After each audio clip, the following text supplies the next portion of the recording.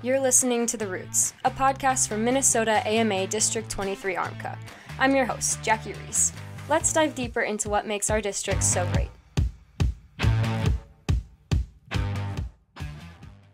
This podcast was prepared by an independent contractor and may not be the views of the Board of Directors of District 23 ARMCA or any of their sponsors or affiliates. Welcome, everybody, to episode 22 of The Roots.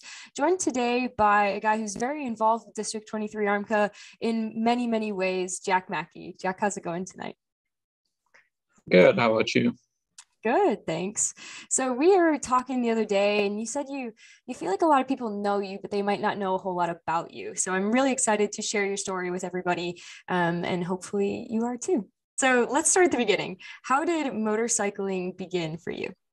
Um, basically, my dad started off in the late 80s riding or racing road bikes like Brainerd and you know, Road America and that type of thing, and decided he wanted to get into dirt bikes. So he bought himself a bike, bought my brother a PW50, and then when it was time for me to ride, it was, you know, as soon as you can ride a bike without training wheels, you can ride the PW. So I remember the day, remember dad with the bicycle in the garage, taking the training wheels off, and then shortly after I was out on the PW.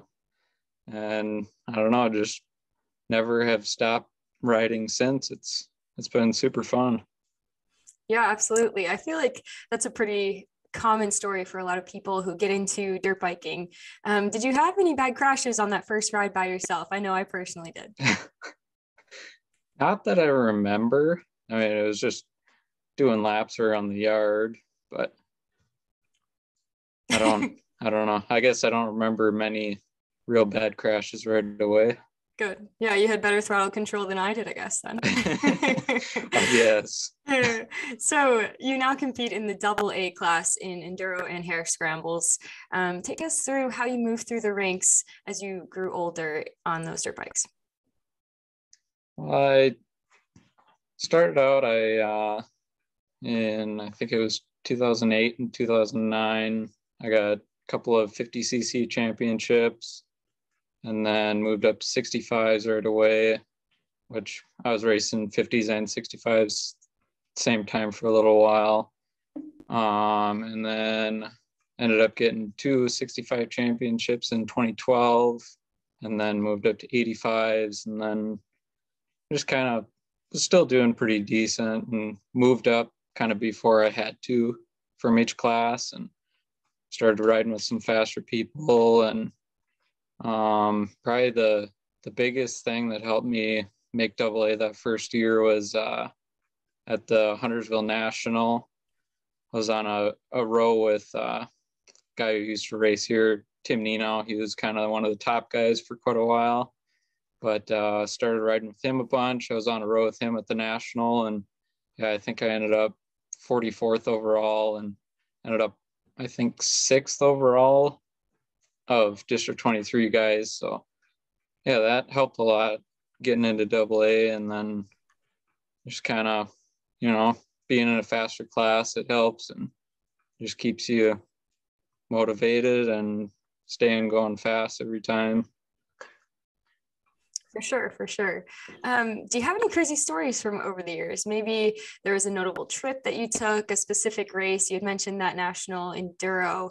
Um, just a crazy memory from over the years of racing. Um, I don't know. There hasn't been much too crazy. I mean, like like I say that that Huntersville National is really cool. Um, just one one cool thing with that race was uh, the last section of the day was uh, A class only, A double A pro, whatever. Um, and we were on row four, and I remember it, it was super cool. It had rained the night before, so like the trails are super fresh. There was one tire track ahead of me. It was just Tim. It was it was pretty cool. That's awesome. It's yeah, cool that was we were going fast. It was fun. yeah, going fast is fun for sure. Um, so as we were talking before, um, your 2021 season had some ups and some downs, notably your double A enduro championship, which was followed by um, a may I say, catastrophic shoulder injury that cut the hare scramble season short for you. Uh, how was 2021 in your perspective? Overall, I think it's been a super, super good year. I mean, it started off, you know, hare scrambles is doing okay in the in the spring, and then the Huntersville Enduro won that one. Um, and then I think the worst I did at an enduro was a fourth overall at uh, the Dayton Enduro, but otherwise a couple of second places, and I was super happy about that. Um, then yeah, just you know had a had a pretty good hare scramble series. Ended up fourth, even though I missed the last one. But yeah, just you know, this is my basically my first major injury of any kind yet. So I'm all right with that being this this late into my racing career, you know. Yeah, so kind of what do you attribute that to? There's, you know, I went through a phase of getting hurt when I was transitioning from little bikes to big bikes. Um, what do you attribute your success in staying healthy to? Um, I think just kind of like, you know, it it was always instilled in me like, you know, growing up to learn how to ride before you go fast. And just, you know, I've always kind of been cautious in riding and just don't really ride over my head too much. So I think that helps a lot. And just trying to have good technique and, you know, stay upright as much as possible. Yeah, absolutely. Um, so we've talked a little bit here about your racing, but you're not only known as a racer. Lots of people know you uh, for your work behind the camera as a photographer. At what point were you like, "Hey, I, I want to give this a try. I want to I want to become a photographer and and shoot some dirt bike riding"? So a friend of ours growing up, uh, a guy named Mike Pohl, he he was always into photography. Would go to all the races and take photos and um, he ended up passing away and I think it was 2017. And you know, for the next few years, it was like nobody was really doing photos at the races. I guess I just saw an opportunity and ended up, you know, getting a camera and starting to take photos and just really enjoy it and getting getting a little better at it. Took a little while to really kind of kind of learn what I was doing, but I I think people enjoy it and I like, you know, when people post my photos and I like seeing them around. It's cool. Yeah, for sure. How do you think it's changed over time, your photography, and what do you have in store for the future? Um, I don't know, just like as far as changing it, it just like finding better shots and upgrading to better equipment and stuff. And um, yeah, I ended up buying a new camera last last spring. That was that was a big deal. I, you know, probably spent more money than I should have at the at the time, but it definitely uh, helped out the quality. But yeah, and then uh, lately I've been getting more into the video side. So my plan is for this year to uh, do some more video stuff and hopefully get like one at least short video of of every race not probably not really like a vlog style more like uh just a, a recap type thing but that should be cool i'm excited yeah, and so are we here at District 23 ARMCA. You've been a big help to us um, with our social media and our website, our articles, everything like that. So we really appreciate, you know, you giving back not only to the racers but to the organization here itself. Yeah i've been really excited to see see my photos on the district 23 pages and you know see just like i scroll through the the instagram page and it's like i think about 50% of the photos in the last year are all mine. It's i like it. It's cool. Absolutely. Absolutely. And i i enjoy it too right? Like that's my my area of um volunteering here too. And it's super convenient for me. You can just go on your website, 1hundredmn.com, if I'm correct. Yep. Um, and download off of all of the uh, Google Drives, and you have them up for free. Of course, donation is how you um, support continuing to do this. But maybe speak a little bit about how people have supported you in your photography experience. Yeah, I mean, it's like I said, like you said, it's mainly just you know people, you know, sending money for taking photos at each race. I, I don't, I don't require payment because I, like growing up, there would be photographers that would show up, and you know, the only way that you could get a nice photo is you pay them whatever. Feels like five dollars a photo or whatever, but it's like I, that always bugged me growing up and like I I'm doing all right without you know needing to do that. So it it's just uh normally people will send me from through Venmo. That's the the easiest way to do it but um yeah just been a lot of nice people you know at every race. There's a lot of consistent people that always you know give me give me a little bit for being out there and stuff it definitely definitely helps a lot. Yeah that's awesome. So taking a spin here not only are you the racer you're the photographer but now you want to be even further involved with motorcycle racing. You decided to become a trail boss for the 2022 Trollhaugen hare scrambles. How did that come about? How did you decide to take that on? So I've been helping out there for the past, I want to say, five or six years, and just kind of like almost working my way through the ranks there, I guess you could say. Like the last couple of years, I've had my own section of trail. Last year, it was like I think about four miles, and just kind of was able to do whatever I want with it. And that was really, really cool to me. And then, uh, the current or now past trail boss Dan Banks, he uh, he's been doing it for quite a few years, and he he wanted to be out of it, so nobody else was really stepping up, and I really wouldn't want to see that race go away. Like that's seems to be everybody's favorite, and I absolutely love riding there, so saw it as an opportunity to keep it going, and he's going to help out a lot just you know, with different stuff that I wouldn't even think of as far as the the race goes. But uh, yeah, it, it should be cool. I'm hoping to make a little bit of changes and really uh, make a race that everybody enjoys. Yeah, absolutely. Um, for some of us who may not be as familiar, including myself, what does a trail boss do? Um, you'd mentioned Dan's going to help you along the way, kind of groom you towards becoming a better trail boss, things that you might not have thought about. Um, what are some of those things that the average viewer, listener might not totally understand?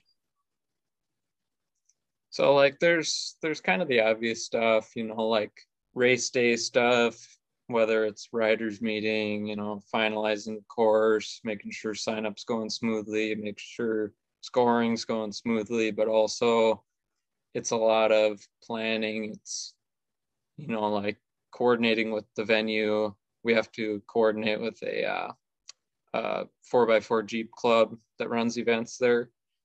So like we had to go to their meeting in November, lock in a date, and you know, just like that type of stuff. And then obviously it's like the the whole course design and like planning all the work days because I mean normally it's probably I'm gonna say four or five weekends before the race that we're all out there, we're putting in hours, you know, cutting trail, laying out trail, grooming it, you know, putting up arrows, putting up caution tape and all that stuff. And and then it's yeah like figuring out what everybody's doing on race day um just kind of like a lot of a lot of coordination with volunteers which we have a lot of really really good volunteers that help us out um it, within the the Norsemen Motorcycle Club and also other racers that just want to help out. But uh, yeah, it's definitely a lot of work. Definitely a lot of stuff that I probably haven't even thought about yet, but I'm definitely gonna gonna give it my best shot and I think I'll I'll have a lot of people behind me and giving me some good support. Yeah, I think so too. You mentioned you wanted to make a couple changes. What were those changes in your mind? Um, kind of just like trying to make it a more fun race course for everybody.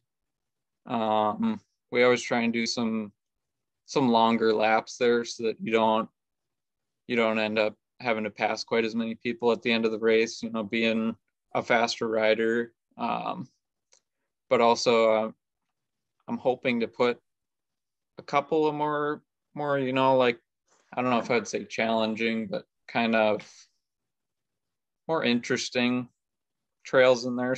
Maybe some flowy stuff, maybe some tighter stuff. Um, we have we have a lot of options there with how we can run the course. So I mean it it's kind of just gonna depend like next spring, summer when we go out there and start laying out the course, like figuring out all that stuff. Yeah, so that was going to be my next question. How does how does the trail prep influence the racing? I've only done a handful of hare scrambles here, um, but in your opinion, what are the best aspects of a trail that makes for interesting racing? So, like the biggest thing I would say is just like making sure that you have multiple lines in the woods because the worst thing is you know you're you're in the middle of your race you're chasing somebody and you come up on three or four slower riders that are a lap down and you have to try and pass them and if you know there's nowhere to pass them it makes it really really hard to to make up ground back on whoever you're following or you could also be, you know, racing someone. And if there's not really an opportunity to pass it, you know, all you're going to do is sit behind them. But uh, there's a few, there's a few courses in Minnesota that do really think, and there's a few that could definitely improve upon that. But it kind of depends like how how the trail's laid out and how how the trail you know like gets gets lines in it because if you make it to where multiple lines are vid- visible and like easy to get to, they'll both get used. But otherwise, it's like, you know, it'll be one line. If it's wet or soft or anything like that, you know, it turns into one rut and then you can't get out of the rut. It's, it's a lot of like planning and kind of like visualizing as you're laying off the course and grooming the course, like, you know, mowing and cutting branches off and stuff like that. Try and make stuff like, you know, when you're coming up to something so you can actually see like multiple lines through there. Yeah, that's awesome. And it's awesome to hear that we have a top racer thinking about things like that you know it's not um, maybe someone less experienced than you it's it's really cool to hear that you're able to visualize those lines and put them in place for us more novice off-road riders here. uh, so another thing that I'm very curious about is your involvement with a club. There's not a whole lot of racers that are also involved with a club. Um, how have the Norsemen specifically influenced your motorcycling experience? Um, it's there's actually quite a few racers that are in in clubs like the the Golden Eagles is pretty big. Um, Straight Arrows is fairly big.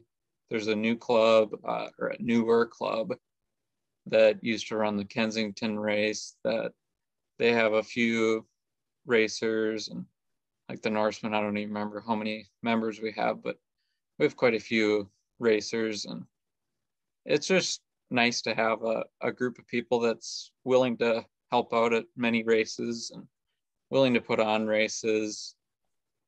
Um, it is it is nice to have like the support from them also um but yeah it's more it to me it's mostly uh just like a, a way to coordinate a bunch of people to put races on. How does a club decide to put on a race? You know, that at some point, uh, I feel like a club gets so big that, hey, like, let's put on a race. At what point are they like, let's do that? Um, I'll, I would say some of the time it's, you know, one one club might get out of putting on a race at a venue, or somebody finds a new venue to put on a race. Um, I haven't really been involved in too much of that, like the as far as the new races go.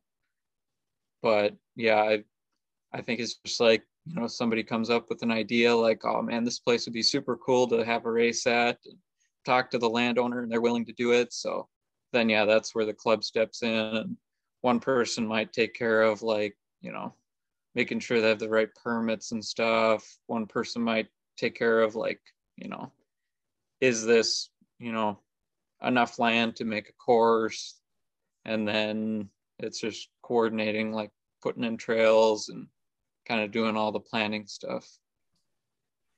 Cool. Yeah, it's a real team effort to put on an event like that. I can imagine so much work, like you had mentioned, weeks and weeks of preparing just for one single event. So it's it's amazing to have those people still in the community and still wanting to put on races for sure. And I would like to um, really encourage other people like racers.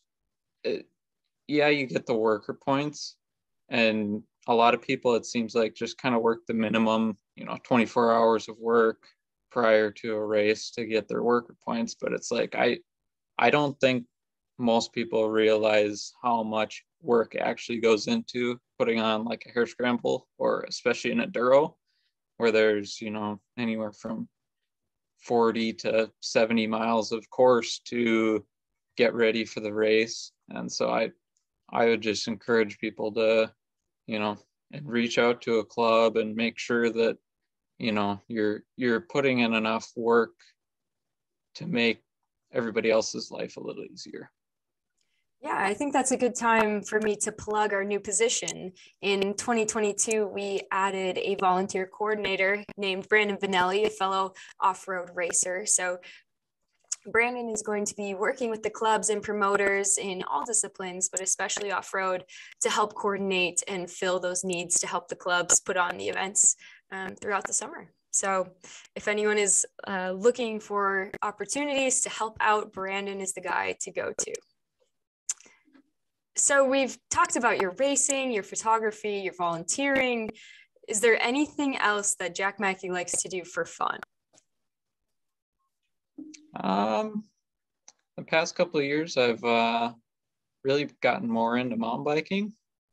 It's really good training tool for off road, especially. You know, it's single track. It's you know you're go with a few buddies and you're racing them hard and trying to keep up. But uh, I don't know. Otherwise, I like to do uh, some snowboarding in the wintertime. I mean, I, I haven't been doing that this year just because I don't want to, you know, fall and re-injure myself. But uh, yeah, I, I don't know.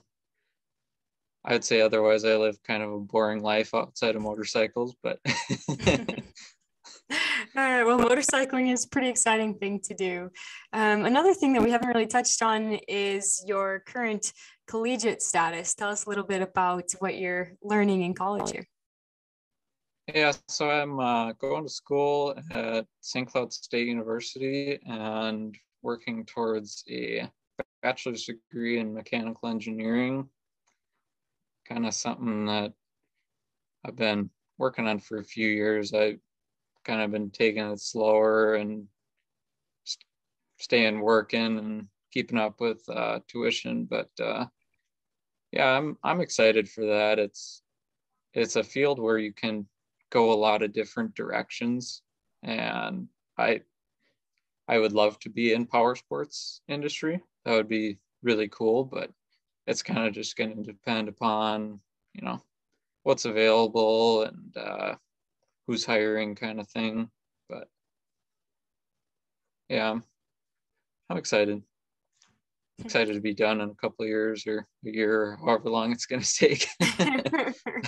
uh, no kidding. Um, it's cool to to hear that everything in your life you wanted to revolve around motorcycling, and I think a lot of us that are very invested in the sport uh, feel like that that we can do it all the time. So that's awesome to hear that you feel similarly. Yeah. So, what advice do you have for other D23 ARMCA members that might look up to you because of all these different, totally different categories of things that you do within the sport? Um, well, as far as like riding dirt bikes, I, I think I've heard a few other people talking about this, but like honestly, the biggest things are riding as much as you can and riding with people that are faster than you. Cause like you can learn so much stuff just by, you know, watching somebody who's faster or asking them like, you know, how are you doing this? Or, you know, like how how do I get faster? What am I doing wrong? That type of thing. And then I would say like uh if it was somebody trying to get into photography, basically just like, you know, even start off with just using your phone or, you know, cheap camera and just kind of start taking photos and see kind of what other people are doing. And I don't know, almost kind of like find find what you can do different because that's kind of what I've been trying to do is like almost I, I almost want to get like a, a racer's perspective or like what a racer would want as far as photos. But yeah, like I like I say, just kind of like ease your way into it. You don't have to have the best stuff. Just you can learn a lot with minimal equipment. Yeah, absolutely. I uh I will share a secret here. Most of the district content that doesn't come from you that I make myself is done on my iPhone.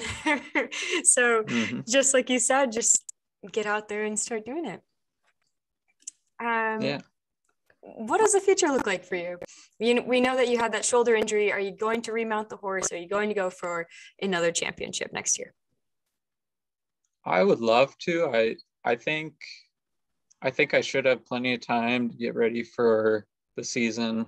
Um, it's kind of just going to depend on how fast it heals, but I would love to at least race the whole Enduro series and hopefully be as competitive as last year. I don't know how that's going to go. It's kind of still unknown.